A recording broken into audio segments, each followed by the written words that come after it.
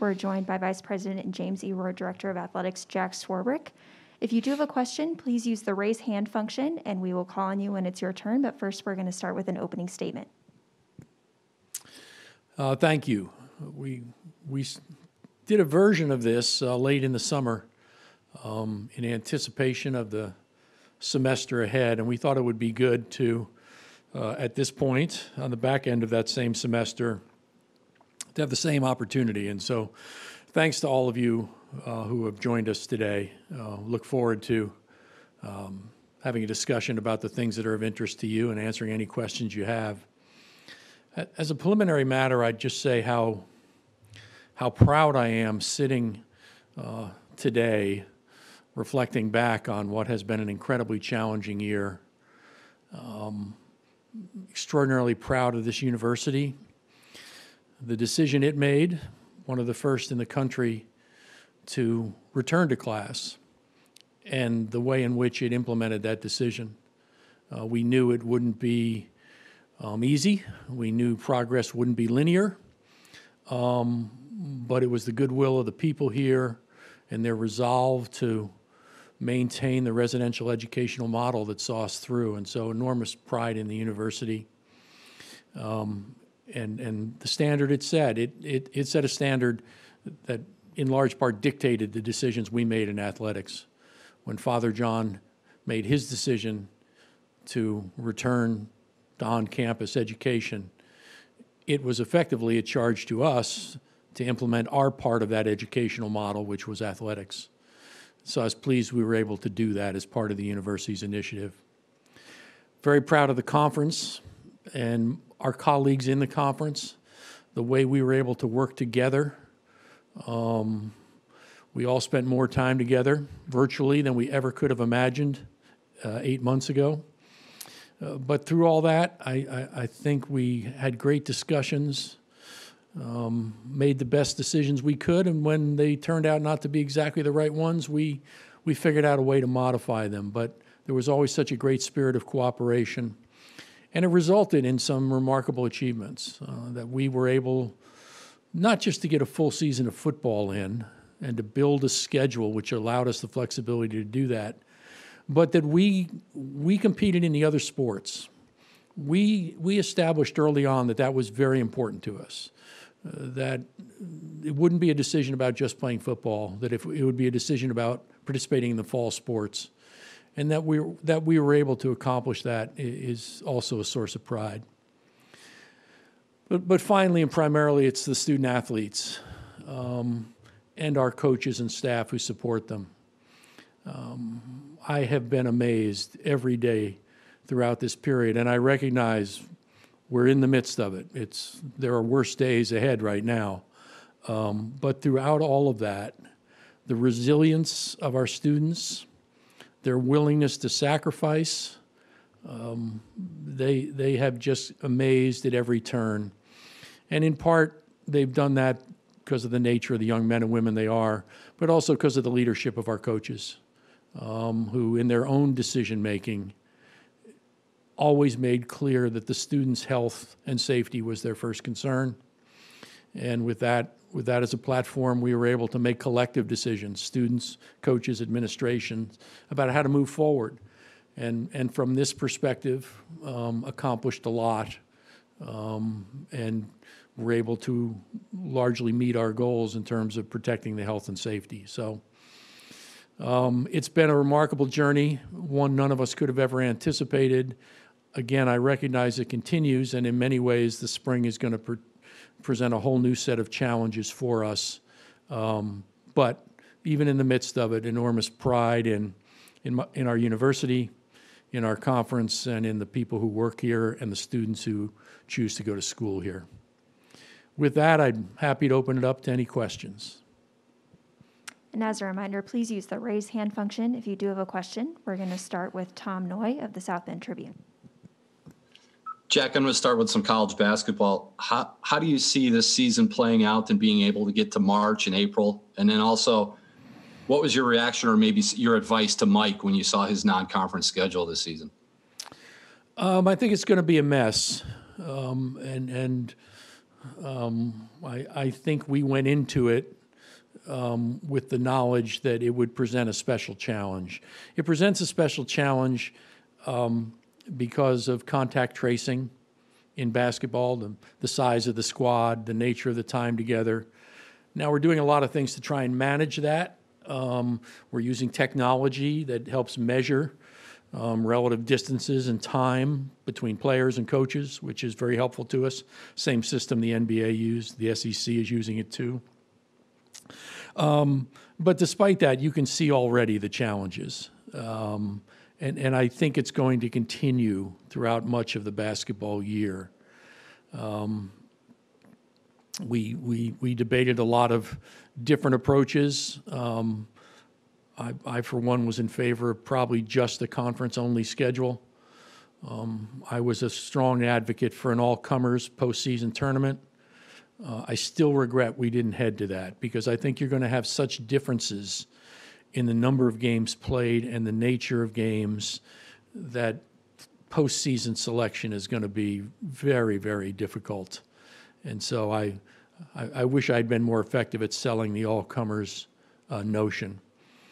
In this environment, with all the uncertainty, um, I was Mike's biggest cheerleader in developing the schedule he developed. Uh, my, my, my view was this is the year to do this. Let's, let's, let's take a shot at this. Um, our guys have gone so long waiting to play again. They're excited to play. Um, would we build this same preseason schedule in a normal year? No. Um, but this felt like the year to do it. I think we'll learn a lot from it. Uh, my big regret with it is we have all these marquee games and no audience um, which is uh, more than a little bit of a frustration. But really proud of proud of Mike for taking this on, and and love the enthusiasm of of the guys is reflected in a, in a great effort um, against a very good Ohio State team last night. We'll go next to Pete Sampson.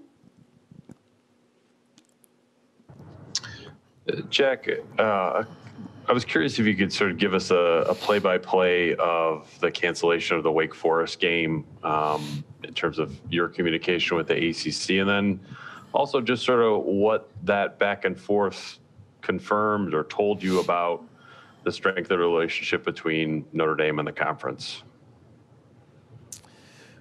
Well, like all, all decisions we've made uh, throughout the season, it, it started with a discussion among all of the athletic directors um, about how to handle uh, the last week or weeks of the season and uh, was referred then to the football working group, which is a combination of ADs and coaches.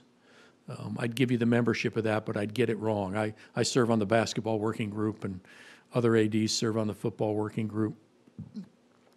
Um, and, you know, at, at the core of the discussion was the reality that you had three teams with the possibility of playing um, in the in the conference championship, and the way the calendar set up uh, at the point the discussion was was being made, um, if if you know we were we were in a good position relative to knowing we would be in it.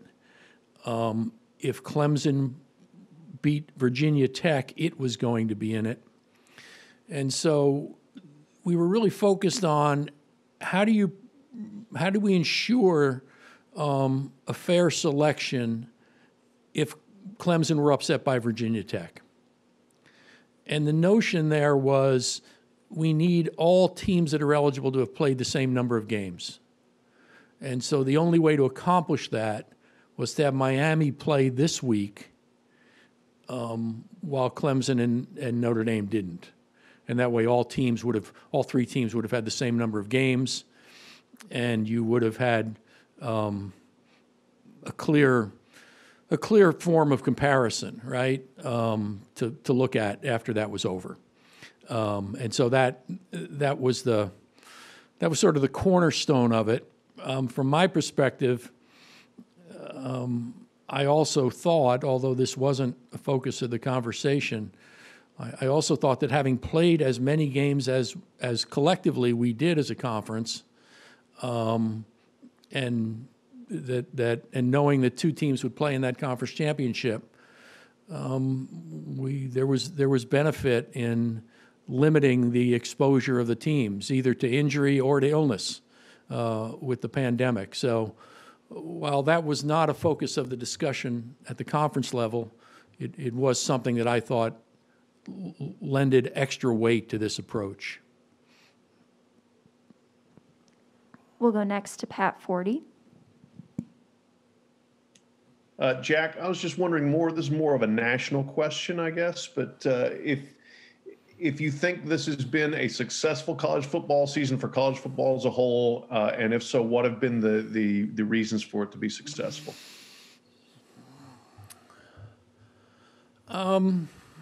Pat, it's hard to answer on a national basis. Um, I think it's been successful, more successful than some, than for others. Um, I recognize that the process and decision making, it's, it's the nature of college, ath- uh, college athletics, but football in particular, it's so so diffuse. Um, you know, I I think we learned a lot. Um, as I said at the outset, very proud of what we were able to accomplish in the ACC. I, the decisions we made. I, I think the smartest decision we made um, was to start when we did, so that we had room in the schedule um, to to allow all of us to wind up at the 10 or 11 game mark. Um, I, I, I think had we had we not given ourselves that flexibility, uh, we never would have been able to get there, and and that created the opportunity for um, for for the student athletes to do that as well.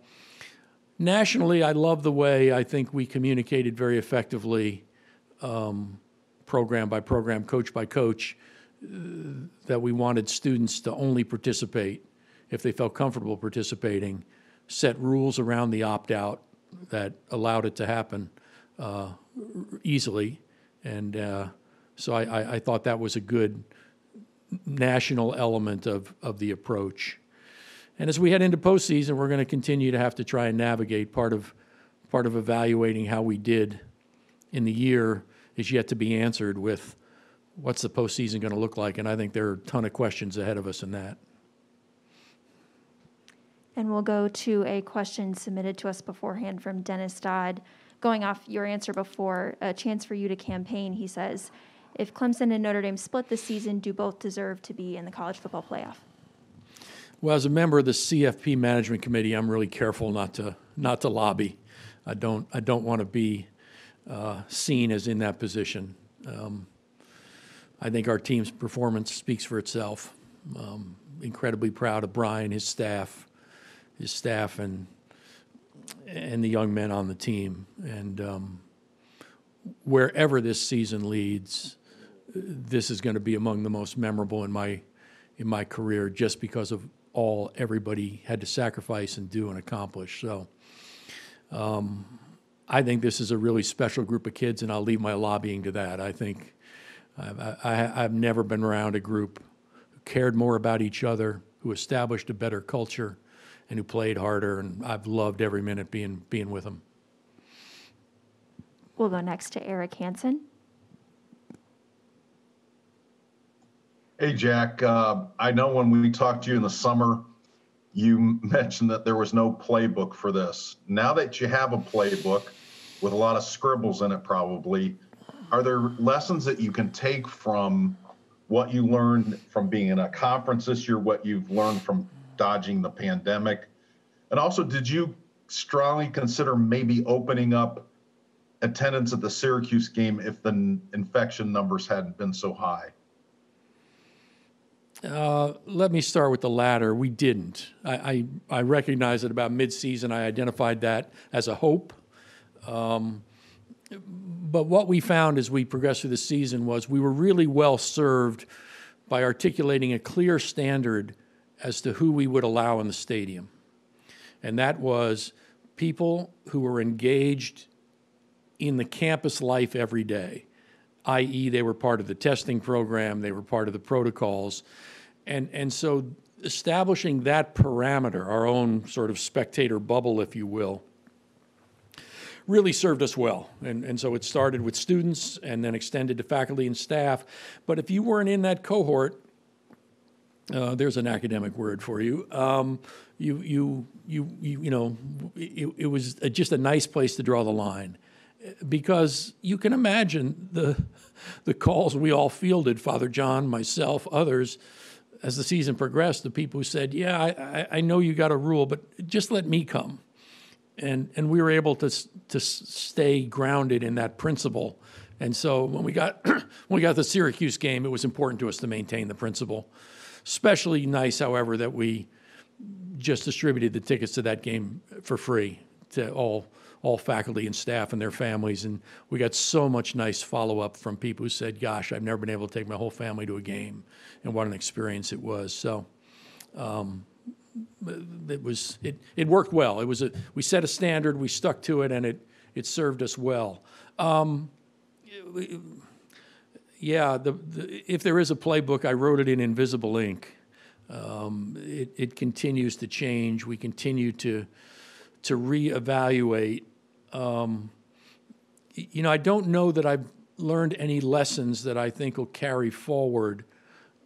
I think I've become a better manager because I've become incredibly comfortable being wrong. Because so often in this, you know, what you thought was right at 10 in the morning was wrong at 2 in the afternoon. And, and you know, you, you learned to be comfortable with that. You learned to have the biggest circle you could for input because every perspective had some value. Um, I'm, I'm reminded of General Dempsey, Martin Dempsey's book, Radical Inclusion, uh, about how the more challenging the activity, the greater the need to widen the circle for information. Um, it's the only way you can get to a sort of a reliable conclusion. And, and I certainly found that to be true during this. Um, and then the other thing was to um, not overreact. Um, I think some of the decisions that were made along the way, certainly some on our case, but a lot nationally, were overreactions to small pieces of information. And uh, you, you, had to learn to sort of let it, let it sift through, um, make sure you understood what, what the data point was, who it came from, and whether there were different views uh, to get yourself to the right position. And then finally, uh, I'd just say, sort of being guided by your values. It's never more important than in, in times of crisis or like this, uh, you know, an unprecedented situation. You got to stay, you got to stay grounded in, in, in whatever the values of your institution or your organization are. We'll go next to Patrick Engel. Jack, following up on something you had just touched on there, and just looking at all the things that navigating the athletic department through all this can throw at you, what were the easy the things that you would have considered as easy to overreact to that you were able to kind of find yourself being able to pull back and, and like you said, sift through it? Well, there was a lot. There, there, there was a lot that was presented as scientific information or medical information um, that tended to get misrepresented during this. Uh, not, not by any ill intent. It was just, you know, it was the nature of information flying around. I think, especially in, in some of the national news media. And so, really learning to step back and say, wait a second, who can I talk to about this? You know, we, we had a great team of medical experts uh, advising us. Importantly, ones that weren't affiliated directly with Notre Dame, um, where you'd you'd get a piece of information that someone else was relying on, and you'd say, "Help me understand it. What what can you tell me about it?" And so. Um, those, those those were the clearest examples, and then some of the projections about how the pandemic would progress. Um, you know, the one thing I became convinced about was that we'd have the period we're having now. Everything I read, the historical data with the Spanish flu and everything else I read, made me convinced that um, the winter, the flu season, would present a special challenge. And so, in that regard, that heavily influenced our, our decision to move forward when we did, um, because I, I didn't see the value in delaying. We'll go next to Tim Prister. Jack, um, what are your thoughts on the inclusion of the Pac-10 and Big 12 in the college football playoff, considering the disparity in games played? Well, of course, as we move for, forward, I'm thrilled to know that it may not be that important whether you play 13 or 12 games. Um, insert smile here. Um, but, um, you know, I, I, I love that the charge to the selection committee doesn't change. It's pick the four best teams. How they do that um, is grounded in the selection procedures that the management committee established. But, but that's the starting premise. And while this year has maybe created a special challenge for that, you know, maybe there's a future year where some unique circumstance at one school, some tragedy of some nature, impacts that school's ability uh, to play the same number of games. And uh, we'll learn from this experience. But I'm, I'm glad there's no exclusion. I'm glad there's no, you got to play X. But I think every game you play is important. It represents a data point. and uh, I I know the selection committee will use all the data points available to it to pick the the four best teams in the country. We'll go next to Matt Fortuna. Hi, Jack. Um, curious, were your eyes open to anything in having football be a part of a conference this year? The natural follow-up to that is, does this change any plans about Notre Dame's independence moving forward? And then feel obligated to ask you, uh, if you guys do beat Clemson, do you have plans for what to do with that trophy? I I haven't given the latter any thought, so I I don't I don't have an answer for you. Um, it has been a great experience for us. Um, it has been an extension of the ongoing great experience we've had with the ACC. Um, we hope we've been a great member of the conference, but we've certainly enjoyed uh, being a member of the conference and having the opportunities it's presented. Um, you know, I've, I have, I have great, I will take with me great memories of our entire conference experience, winning the men's basketball title, um, the number of women's basketball titles that were won, and in a number of sports, cross country this year, uh, as an example, our success. Um, and and football only extended that, um, and so it was it was a very positive experience. The things that drive us to independence sort of don't relate to that, right? I mean, the, the reasons that we value independence and it continues to be a priority for us aren't impacted by the positive experience of being in the ACC fully this year. It's just that it serves some other interests of Notre Dame as a university uh, that are very important to us. And so that's why we'll continue uh, to do that. But um, thoroughly enjoyed our experience this year. We'll go next to Tom Noie.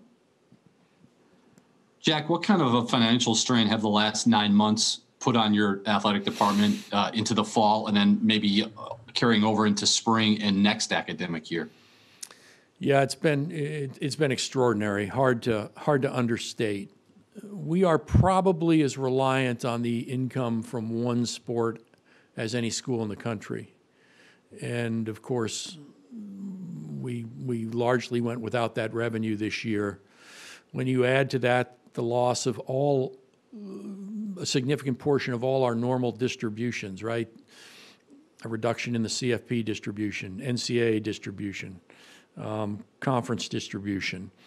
Um, it puts you in a very difficult position going forward, and um, we will we will deal with the consequences of this year for a long time. Um, we're working hard. I've been so proud of the savings we've been able to engineer. We've been in a hiring freeze, which has really strapped our staff, but they've done a great job um, of managing through it. We've cut back everywhere we can. Now, conversely, you take on a whole bunch of new expenses related to managing the pandemic. You know, where football used to travel with with four buses, we now have eight to get spacing on the bus. Um, the testing costs are extraordinary uh, because we've been so aggressive in, in testing on a regular basis. So, long winded way of saying it's impossible to overstate the financial consequence here. We're going to have to reimagine a lot of our business. We're going to have to continue some of the savings we've achieved. And uh, we're going to have to look to our friends to help us. Uh, next week, we're going to host um, our version of a stream telethon um, to try and um, generate a little additional support from a community that already provides extraordinary support to us um, to try and help us navigate through this. It, it, we've dubbed it the fight, and uh, we'll take about five hours on the night of the 15th to uh, to raise raise some money to help help make it through this tough period of time. We'll go next to Dennis Dodd.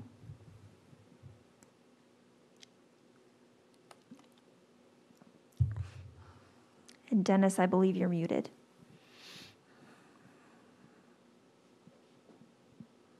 All right, we will circle back to Dennis, but we'll go first to Lou Somogyi. Hey, I, can you got me now? Yeah, we Yes, do. we do. I'm sorry.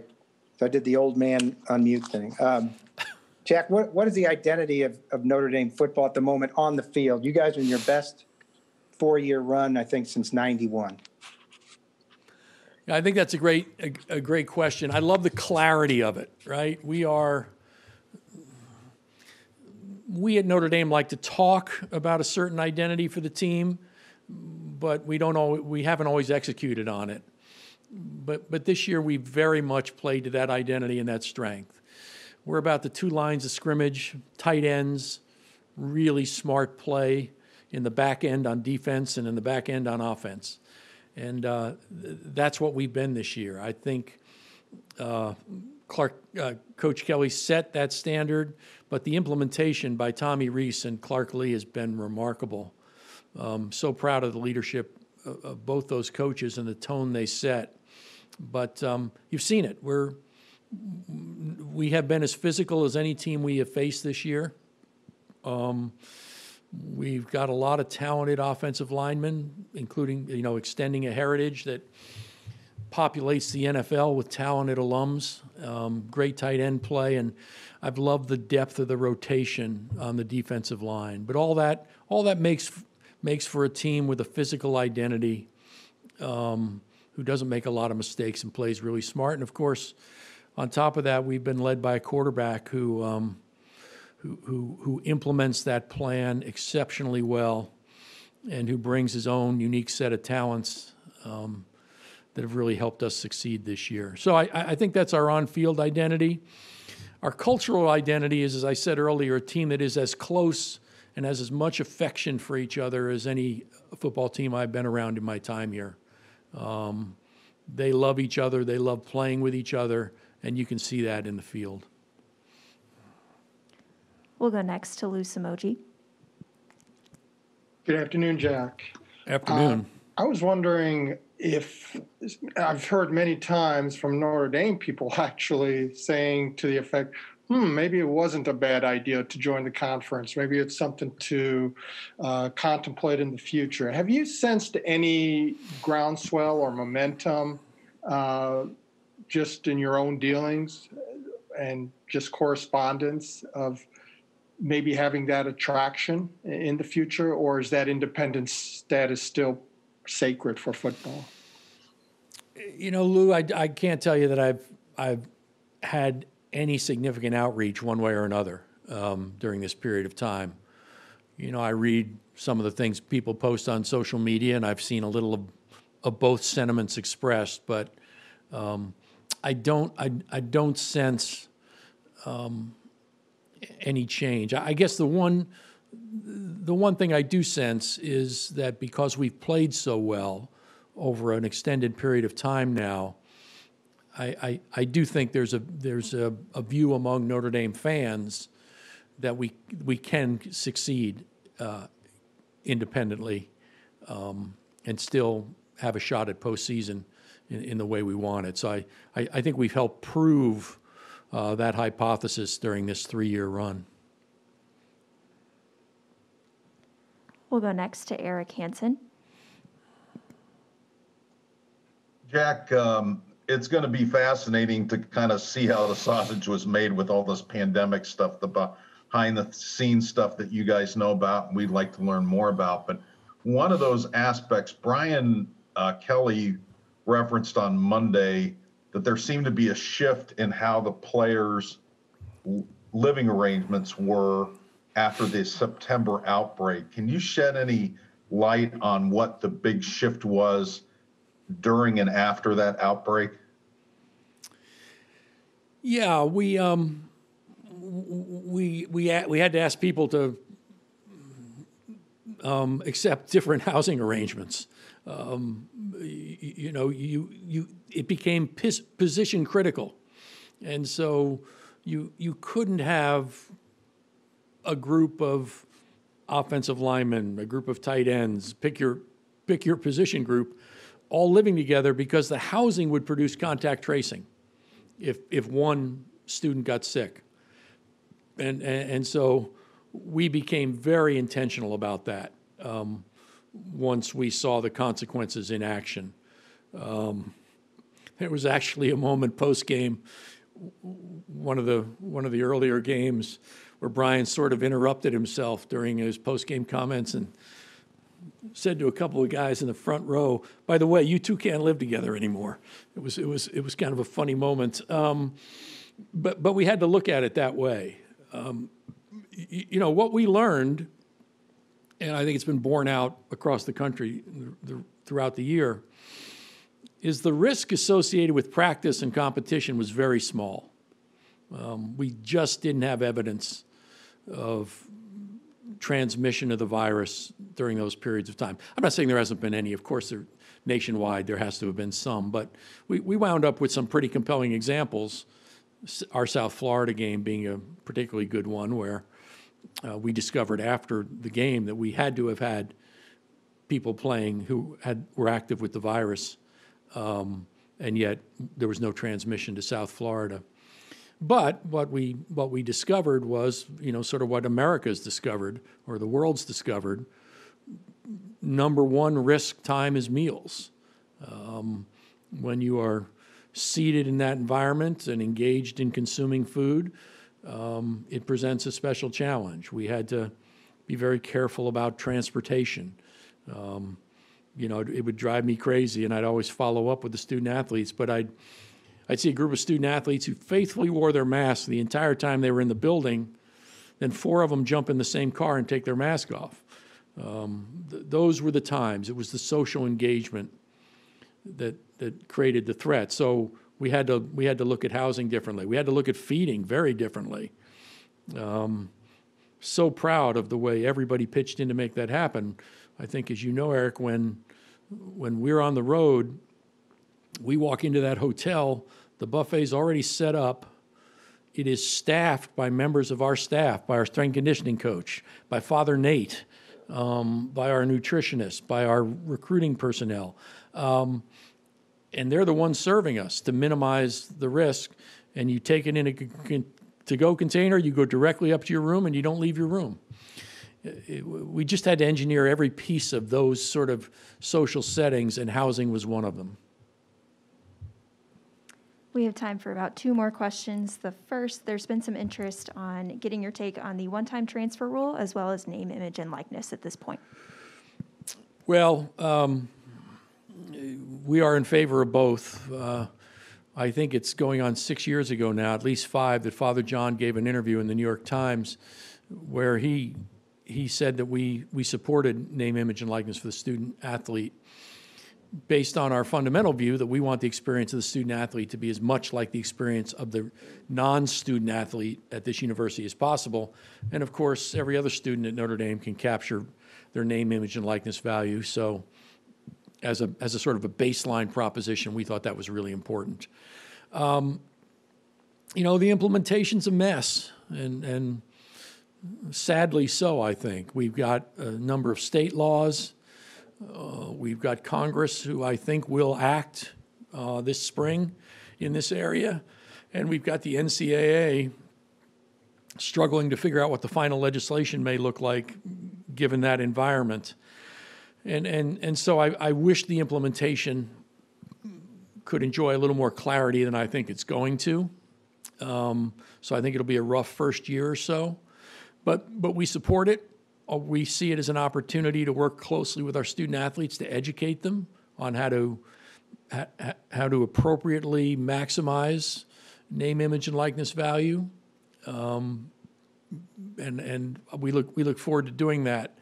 There's going to be a lot to navigate, though. Um, you know, we have got to make sure it doesn't make an already unstable recruiting environment even less stable. Um, and we've got to make sure that it doesn't create unintended consequences where a decision by one student athlete has a negative consequence for the rest of the student athletes or the other members of his or her team. Um, we want to maximize the value here out of it. Um, with regard to the one-time transfer, I'm thrilled. Um, I, I, I couldn't be happier that that's going to be available because I, I found nothing more distasteful in my recent dealings uh, with the, the national rules than the waiver process surrounding transfers. I think it was a system that encouraged young people to make really harmful misrepresentations in, in order to try and gain uh, a, a transfer. And um, we, no, we, we should never have sent a message like that to students uh, on a national basis. It became clear what you had to say to get your, your waiver granted.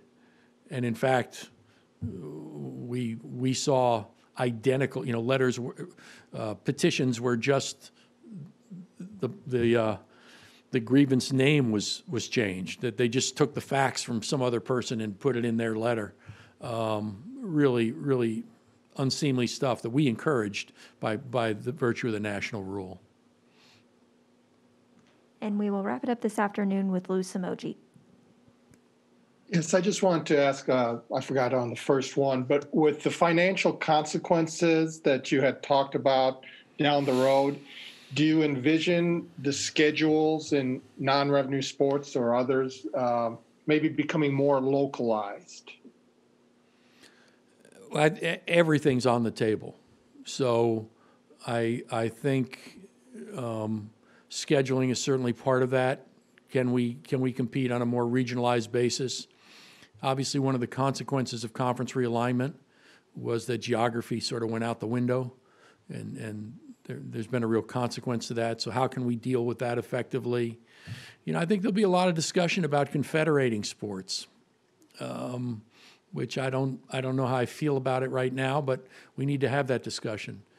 Can we align more closely, for example, with the national governing bodies in some sports to continue to ensure uh, opportunity for athletes, um, but perhaps spread the cost a little more effectively? Um, Can we develop more partnerships um, that help us? You know, I, I, find one of the more troubling dynamics of college athletics is that um, colleges and universities bear 100% of the NFL's development cost um, without a contribution from the NFL. In, in all the other pro sports, those leagues bear some measure of the development cost. The NBA with the G League, minor league hockey, minor league baseball, especially the new league, uh, MLB just announced the Wood Bat League. Um, and, and so I think we need to figure out how to, how to have a more fair approach uh, in football. All right, and we will wrap it up there. Thank you very much.